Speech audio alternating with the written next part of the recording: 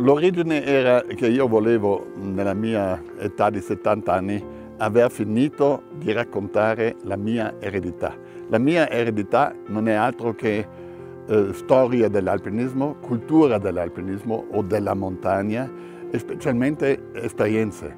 La mia esperienza però non è soltanto la mia personale, è anche la capacità di entrare empativamente nei cuori di chi arrampicava prima di me Scrivendo eh, sul Cervino del 1865, prima salita Carel e Vimpa, io quasi salgo con loro. Io sto con loro in tenda, io soffro la morte di Carel alla fine.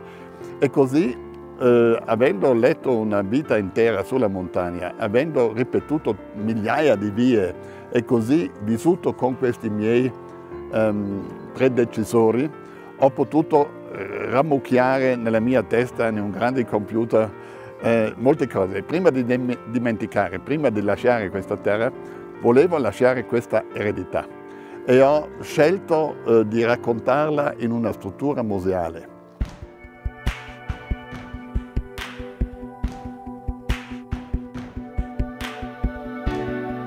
E avendo la possibilità di usare Castelfiammiano, un rudere a Bolzano molto grande, avevo la sensazione che facendo questo eh, centro e facendo attorno quattro, alla fine sono diventati cinque satelliti, posso dividere il grande tema in temi più piccoli.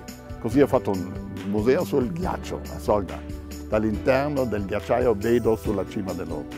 Secondo museo, il mio castello personale Yuval, dove racconto la montagna sacra. Poi ho fatto il museo sulla roccia, sul monte Rite. Poi ho fatto il museo sulle popolazioni della montagna nel castello di Brunico. E poi alla fine, perché l'alpinismo tradizionale veniva sempre più emarginato, perché il giovane oggi fa sport in montagna, mountain bike, la vela, o va a fare le corse. Niente in contrario, però non è alpinismo tradizionale.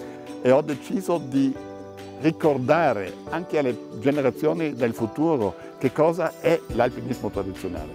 E ho scelto questo posto e poi è stata scelta da Adit come architetta e avevo la prima volta la possibilità di realizzare questo sogno che avevo dall'inizio di legare il fuori col dentro e ho chiesto queste finestre che guardano in questo caso verso il Monte Cavallo dove ho fatto la salita più difficile della mia vita, non sull'Everest, non sul K2 e anche verso le mie montagne natie, il Putia, ho fatto una bellissima via sulla parete nord e sulle Orle dove in, in tutto avrò fatto una 500 salite nella mia vita. Così leggo la mia esperienza eh, personale con le montagne di nascita, con le montagne più difficili che ho fatto e poi se si vede queste finestre si vede che la natura fuori si specchia nelle finestre e dal dentro vedo tutto fuori, significa il quadro più importante, più valoroso è quello e non dentro quello che io ho messo. E leggo perfettamente il fuori col dentro.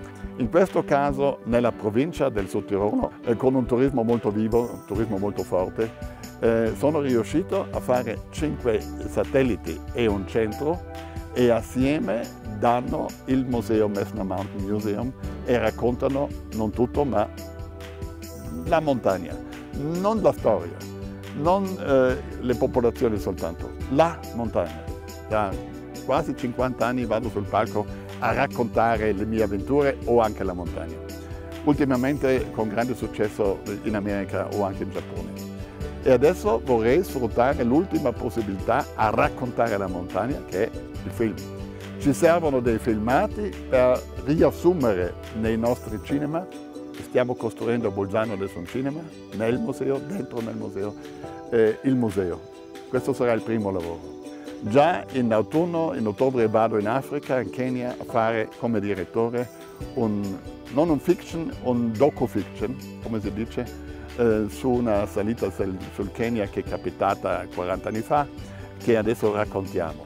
E imparo lentamente a fare. Poi quando so fare, definitivamente faccio quel passo importante a realizzare qualcosa di nuovo, qualcosa che fino adesso non c'è, né in una testa né in realtà specialmente non sul grande tema.